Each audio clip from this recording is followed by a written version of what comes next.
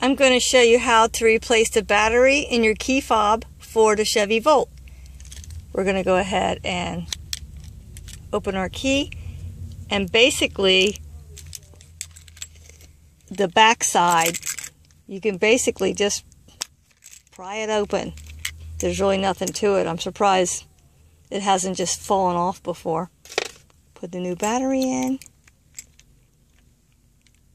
Yeah, there's not much holding it in and then um, snap the back back on.